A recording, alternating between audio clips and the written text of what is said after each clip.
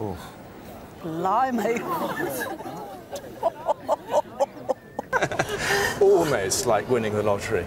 It's a family piece. It's just been handed down through the family. and it's ended up with us.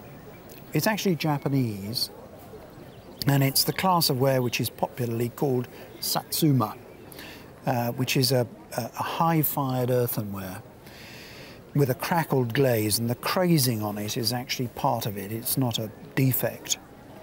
Uh, it developed really in response to Japan opening up to the West, which it did uh, in 1853-54.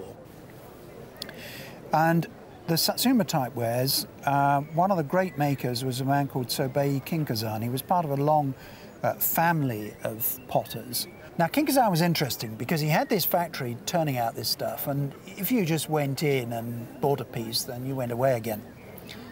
If you said, have you got any really good bits? You were taken to his own house and he had a decorating studio attached to his house where all the best stuff was done. So it was a two-tier manufacturing process. This is one of the top pieces. This is a really knockout piece. Um, it's in a form of sort of a tea canister, but I don't think it was ever meant for serious use. On the bottom we would expect to find, and indeed have got, his mark, Kin Ko Zan, and then the bottom character is Tsukuru, uh, which means made. Round it, what appears to be just simply decoration, um, but actually it's in very stylized characters. It says Dai Nihon, which is Great Japan, and then uh, Kyoto. The decoration on here is just breathtaking. It is just unbelievable that somebody could take a brush with enamel colours on it and do this extraordinarily detailed painting. Um, the scenes are absolutely typical. We've got a woman and her daughter there. We've got a mountainous landscape. We've got a cockerel perched on a blue rock. We've got a couple of children. Uh, another landscape with figures going up to a sort of um, house in the mountains. And here, which is very nice, a sort of dog-like character, which looks more like a cross between a dog and a cat.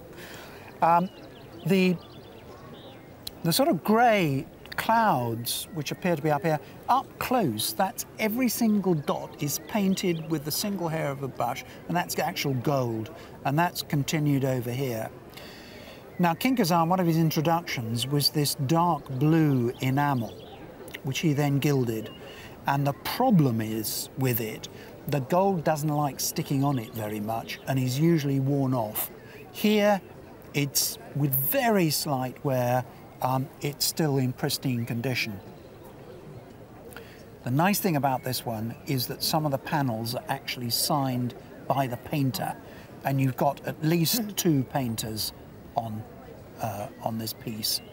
And this one is one I can read. It says Oshizan it's, I think, a remarkable find. I mean, it's as good as a piece of Satsuma as I've ever seen on the roadshow.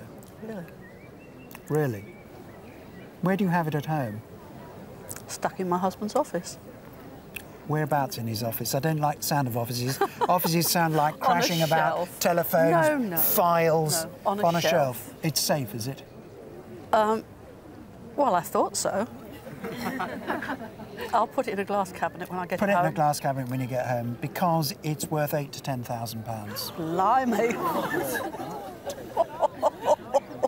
Thank you very much. Thank you for bringing it in. You have never used this nut. No, I You haven't. never wondered what that was for. Well, I have wondered, but I don't know. Well, we just hang the pendulum on, I see. okay?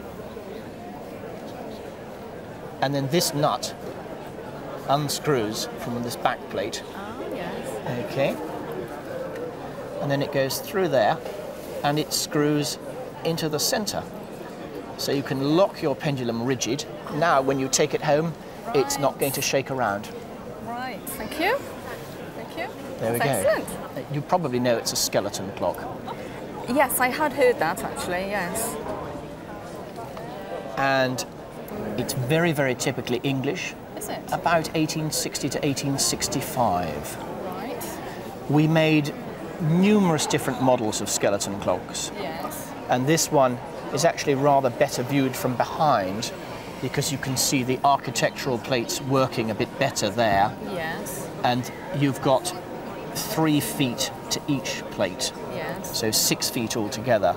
And the two plates are held in position by these rather nice tapering baluster pillars.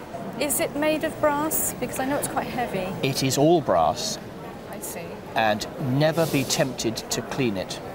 That was my next question. Right. Now, the reason I say that is because if you have a crack at it, you're going to do damage. This has got to be taken apart professionally by a, a clockmaker, and every individual part cleaned, polished, put together, and then it will look absolutely magnificent.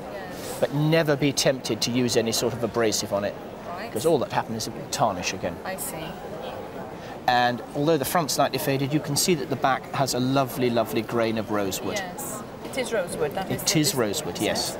So there's also provision here for a glass dome. Do you have that or not? I do have a dome. It doesn't uh, fit it properly. It isn't the correct one. I'm afraid it's cracked. But it is his undercover. It does It keep is. the dust off. Right. Worth your while having it cleaned. Is it? Yeah. Right. Which wouldn't be too expensive, but have you any idea of a figure?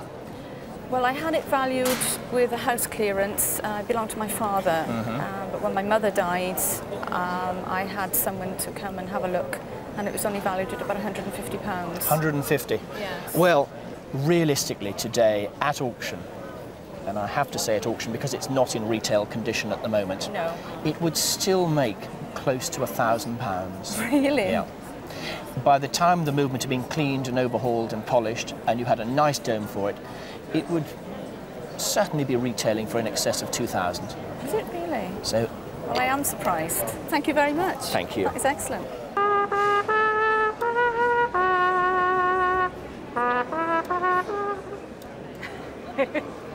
Good.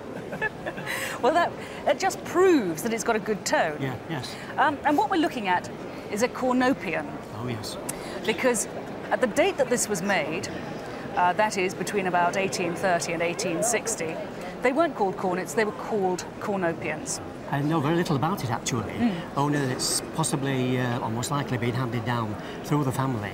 Uh, and possibly played uh, years and years ago by my uh, wife's grandfather in a Salvation Army Oh, band. it really was in a Salvation yes, Army oh, band. yes, oh, yes, very good. yes. Firstly, it's very attractive. I love all this sort of curly cues around yes, here. yes. And the next thing is you look a bit closer and you say, hey, there's something a bit dodgy with the valves. The invention of valves to, uh, to get the notes only came in in the 1820s. Mm-hmm. And in 1838, a man called Shaw Yes. invented this particular system, yes, his, yes. his system, which must have worked very well because um, although finally it's died out now, Yes. um, it was actually used for many, many years. Now, have you played both types? Played You- both types, And, yes, and what do you, yes. what's the difference? How, how do you find this? Well, this? is a much slower movement than the piston movement, the- valve movement now. Right. Much, much slower. That's interesting. Yes, so yes. probably that then decided the future of the Shaw system.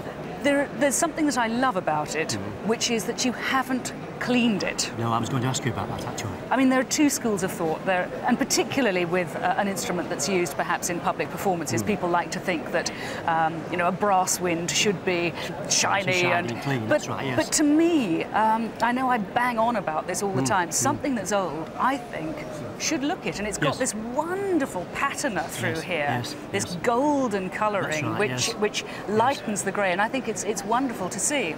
Here yes. we have the maker Kohler Yes. uh, of Henrietta Street. Here it is again right, in London. Um, obviously of German extraction. The instrument itself is a rarity, Mm. and um, cornopeans are very desirable. If one was talking about auction value today, we'd be thinking about perhaps between a thousand and fifteen hundred Really? pounds. Yeah. Yes, it's Yeah. quite a surprise. Had you had its case, Yes. that might have pushed it over two thousand Would it pounds. really? Yes. So that does make an enormous Yes, difference. yes. But as it is, it's a wonderful instrument. Yeah, it is, isn't it? And go on using it. I first saw it at a cycle show in 1952 Right. and fell in love with it. It wasn't for sale. Right. And then saw it about two years later outside an Italian cafe with a sign on it, £25. And I just had Did to that have seem a lot of money then? It. Was all I had in the bank. I was saving up to get married and my future in-laws didn't think much of that. Right. But um, you say 1952 you first saw it. Have you tracked its history any more accurately than that? Well, only that they were made during the war in Italy by two brothers, be- because of, mainly because of the shortage of steel. In fact, it was almost non-existent for bicycle making. And um, one was a ski manufacturer, and the two of them got together and used their expertise to, to make wooden bicycles. It's interesting you should say skis, because in fact, looking at it, my mind sees about four or five different technologies that went into making this bicycle.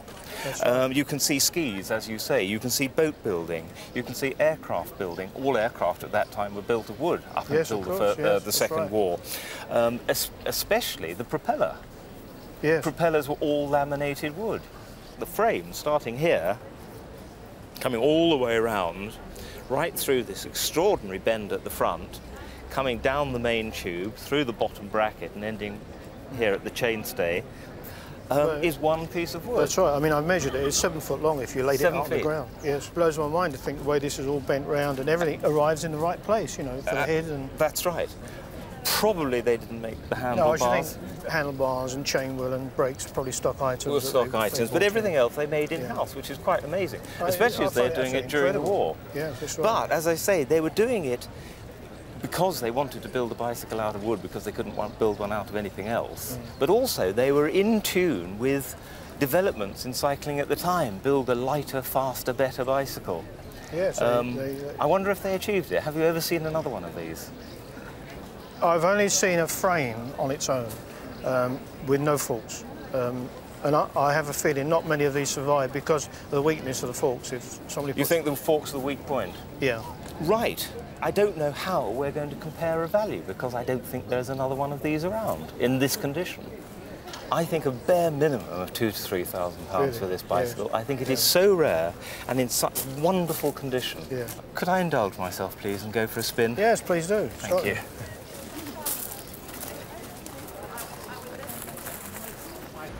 My wife had it for, I don't know, five, six years. It's probably come down through the family. She was quite happily wearing it as a bit of costume jewellery. Bit of costume jewellery. Yeah. And what um, did she um, wear it on? Denim jackets. Denim uh, jacket. Anything that she thought, nice mm. sparkly thing. And then we took it to a jeweller's in Chancery Lane to get the clasp sort of repaired a little bit. Mm-hmm. And he turned around and said, you do realise it's the real thing. The real thing. And so she's it not worn it since, more's the pity. Diamonds and denim. Yes, exactly. She really thought a bit about the design. I did notice that the two ends unscrewed, but that was Well, they unscrew because there was probably not only this brooch, but a cascade of them running the front of a, a lady's fiercely corseted dress in about 1900. So you think your wife had problems? Think of um, Princess Yusupova walking around with this. Not bad, is it? no, not bad at all. Not bad. Now, I say Princess Yusupova because I can tell that this is a Russian brooch by the safety clasp. There's a strange little sort of twist like a question mark at the end, which is a brilliant device because it stops the owner pricking her finger, or more accurately, her lady's maid pricking her finger, because you've never put this sort of thing on, your, on yourself in pre-revolutionary Russia. What we call a stomacher because it runs along the front of the stomach of, of such a lady. At a, I can't think how it could have been more beautiful. Why, what's, what's the look? And just underneath here, there's a, a, a break in, in, in the design, which I think is where the second and third, and I don't know how many more brooches went down to meet it. Um, a, a- a tiny little groove here. And also observe the beauty of this gallery here, the pierced gallery, and the fact that the back of the brooch is made of gold, and yet the front is of platinum to give the whiteness of the effect. I think it's probably quite a late brooch. It's 20th century. The Russians, it's curiously sort of feudal um, life they were living there, and in the early 20th century, things couldn't be more sumptuous and more bejeweled and more exotic, really. So this is a fantastic context, really, isn't it? I'm just going to look a little bit for hallmarks. Russian hallmarks almost always appear um, on, on the clasp of um, of the jewel and along the pin, which is strange, and yet there are more here. And it's jolly good that I did check that actually because there are the initials of the maker there, Theodore Lorié, who is a very well-known Art Nouveau jeweller, making things in the manner of Lalique, um, serpents and butterflies and that sort of thing. So this is a slightly conventional one for him, but a very beautiful one. Now, what did the jewellers um, have to say about it? They must have admired it very much, I think, didn't they? Well, they did, yes. Hmm. They said it was a, a lovely piece and Yeah. And uh, he even turned around and said, I'll give you 5,000 scrap for it. I said, no. 5,000 scrap? I said, no, I don't think so. No, no, well, I think scrapping it's not the right word. I think we really, we've gone beyond Exactly. scrap. No, here. it's Now too we've- beautiful for we've got someone a to break down. Fabulous context. Well, you know, if he's going to offer you £5,000 scrap for it, double it up for insurance. £10,000 Oof, for insurance, yeah. dear me. I think I'll hazard a guess. A terrier, possibly a wire fox terrier. Right. What do you think? I'm not very good on dogs, I'm afraid. We Yes. just we call him Arthur at home because Arthur. Arthur Wardle, the signature here, is one of the best artists working at the end of the 19th and the beginning of the 20th century. He paints his dogs with such vitality and personality that he's almost ready to kind of spring right out of the string right out of the painting, and I'm sure that's why people absolutely love his work. If you look at the quite detailed and partly this rather heavy impasto, but this building up of a paint surface of the dog in contrast to the background, thinly painted, what it actually does is it throws the head and the portrait of the dog forward, giving him that extra kind of uh, uh, kind of personality and the poignancy. it just looks like he's just jumped up, like someone's called to him and he's just jumped up. He looks so real the way he kind of stands forward there from the from the back. Now we must consider the kind of value for Arthur. Is that what it's called? Yeah. Yes. And why Arthur before Well, we just because of the artist's name. I mean, Oh, I see. I'm, I'm sorry, I didn't get that. I thought there was some other family no connection. reason, no. No, no. Just we didn't know his name. But coming back to this question of the price, I think probably the value is in the region of four to six thousand pounds. He's always been one of the family, really. So. And what you've got here is a pilot's watch. Pilots. Pilot's watch. It's a, in fact, if you actually put it, it's somewhat large Yeah. for everyday Yeah. wear, and they were worn outside, probably on a big leather or fleece flying jacket. Yes, and you wore them yeah. with a long strap actually outside, so you Yeah. could read it when you were in the cockpit. Yeah. And it, the date of this one, uh, we'll see inside, there should be the marks of Omega, the manufacturer, the numbers, but there's also the import hallmarks Yes. and the letter R, which I think is 1912. Yeah. So basically, it's a First World War pilot's watch. Yeah. And hence the, the very clear white dial with the black numbers. Have you had this valued? Um, well, tell me where you got it, actually. It's quite Well, I'll tell, you, I'll tell you where I got it. I bought it off a chap that was dealing in bric-a-brac in Newport Market in South Wales some 20 years ago, 22 Mm-hmm. years ago. And there was trouble with the watch, it wasn't keeping time, it was stopping. So he said, if you let me have it back, he said, I know a man that can get it fixed, but you'll have to pay. What did you pay him? Um, oh, what is it, about 70 or 80 pounds, and I think I gave him about a tenner to get it fixed, which was a lot of money. That's a lot of money. Yeah. 20 years ago. Yeah, 20 years ago, yeah. Well, as a watch, it's probably worth, in fact, more like a couple of thousand or so. Yeah. But this is a repair bill. Yeah. Yeah. 1933. Yeah. Made out to a T.E. Shaw of Clouds Hill, Moreton and Dorset. Yeah, that's right, yeah. Do you know who he is? No, I haven't got a clue. It's Lawrence of Arabia. Good God. If I'm correct, Yeah. after the First World War, Yeah. he was a somewhat a complex character, Hmm. and he rejoined, I think, didn't he rejoin the RAF under the name of Shaw? Yeah.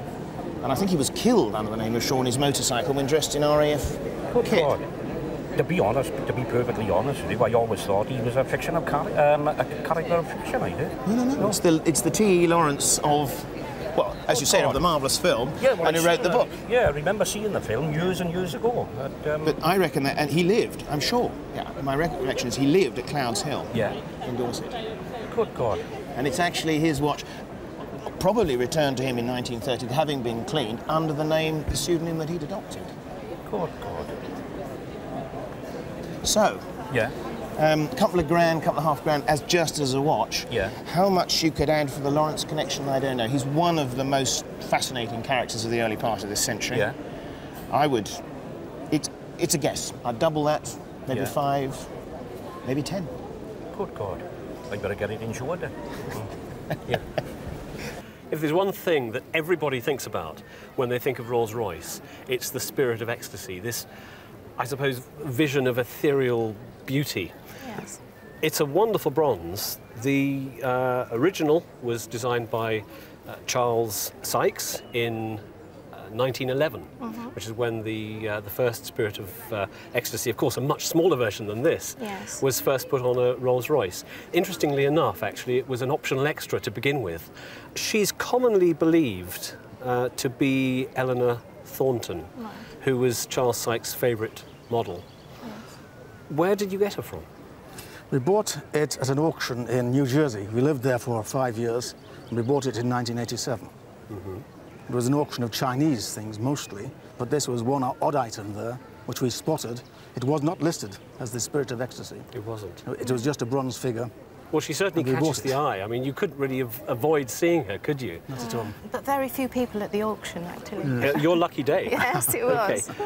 What did you pay for it, as a matter of interest? About $800. $800. In 1988. That was about 400 pounds. Yeah, okay. Well, it's, it's a wonderful bronze figure. Uh, bronze figures of this size were actually used by Rolls-Royce uh, for their main showrooms, uh, as a showroom model, if you like. Rolls-Royce, I believe, um, f- f- uh, only know of about nine or ten of these models. But the interesting thing here is this particular one is numbered, what is that number? 28. 28. 28. 28. Um, so it may well be that there were more than nine or ten actually made. I, I think the records were lost during the war. The only other thing is that there are a tremendous number of facsimiles around, not just of bronze, which, which this is, and you can, you can hear it, but also of plaster, coloured to look like bronze. Um, it's very difficult to know without a really good provenance whether this is an original that was made specifically for one of the Rolls-Royce franchises, or whether this is a, a later casting. The only thing I would say is, if you look at the base here, this black marble base, it's actually quite unusual to find these with a rectangular base, because all of the, um, the later castings I've seen are on circular bases. So this is quite a good plus point, I have to say. Um, so you can't just discount that, just discount it. What about value? The facsimiles, um, the, the, the later castings, are not worth a huge amount of money. And they can fetch anywhere between eight and twelve hundred pounds. If we were able to prove that this was absolutely genuine, that it came out of a dealer's showroom, then the likelihood is it could be worth eight to ten thousand pounds. Wow. So it may well pay you Yes. to do a little bit of poking about, a little bit of research. It might be worth a trip back to the States to find out. Well, you know, I think it could be. I think when you first look at this um, plaque, you think it's a piece of costume jewellery because of its shape and style.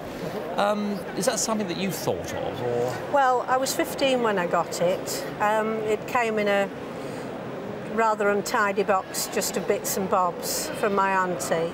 I just liked it, so I kept it safe and Well, occasionally wore it. I think it's it's good that you kept it safe um, because it does have a value, and it's quite a a piece um, that you could date quite precisely because of its design and style. Now, first of all, this material that looks a bit like a cloud formation or a snail shell, um, which you might think is just glass, is actually rock crystal. So it's a natural crys- crystal form. Um, the, this, this flash of colour in the centre is actually a line of fine Burmese rubies.